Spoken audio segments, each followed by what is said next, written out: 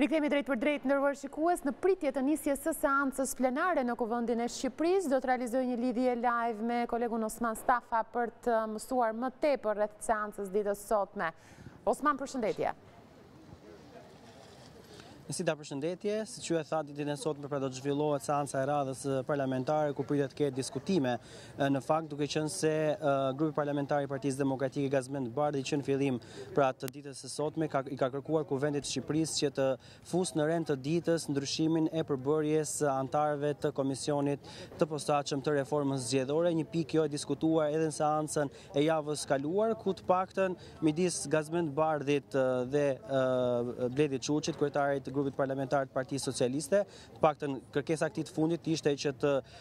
zgjatej dhe të votohej me gjashtë muaj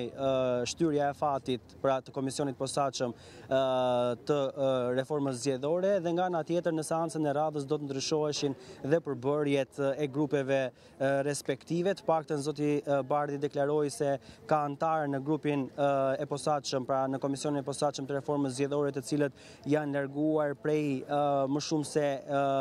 disa muaj duke qenë se disa kanë lënë dhe mandatin por nga ana tjetër ai ka argumentuar se duke qenë se përgjatë rreth një viti kohe nuk është prodhuar asnjë gjë për këtë reformë, atëherë do duhet të ribëheshin rifreskime. Dhe për këtë arsye nga ana tjetër edhe Bledi Çuçi deklaroi se do duhet parë sipas tij edhe anëtarët e komisionit të reformës zgjedhore edhe anëtarët e Partisë Socialiste dhe për këtë arsye zoti Çuçi deklaroi se në seancën e radhës pra Në seancën e ditës së sotme do të mundej që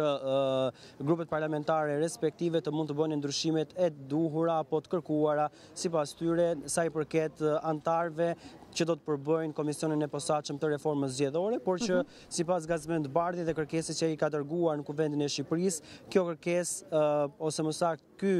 kjo dakordësi nuk është reflektuar ditën e sotme në rendin e ditës nga Kuvendi i Shqipërisë dhe për këtë arsye ai ka kërkuar pra që ditën e sotme projektvendimi për rishikimin e përbërjes së Komisionit të Reformës Zgjedhore të futet në rendin e ditës, paçka se Bardhi argumenton faktin se në seancën e datës 21 shtator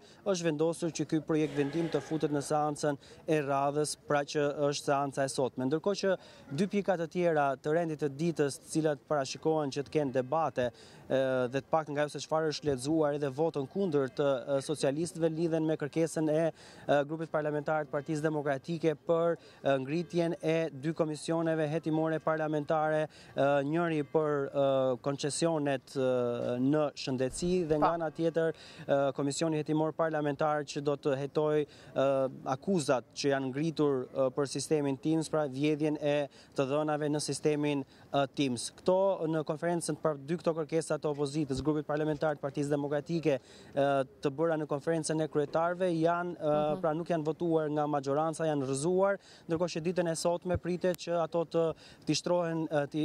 pra votimit edhe në Kuvendin e Shqipërisë dhe më pas në qoftë se do të merret vota kundër nga deputetët pra e maxhorancës socialiste, atëherë pritet që këto dy kërkesa të shkojnë në gjykatën kushtetuese dhe do të jetë gjykata kushtetuese më pas që do të vendosë për fillimin e këtyre komisioneve hetimore parlamentare apo për mos fillimin e tyre. Po, jemi me orën 10, 10 e një minut më saktisht, ku pritet të nisë nga çasti në çast seanca, kanë mbërritur pjesa më e madhe, apo jo, deputetë, ministra, nuk e di vetë kryeministri? Të paktën kryeministri i vendit deri tani nuk ka mbërritur,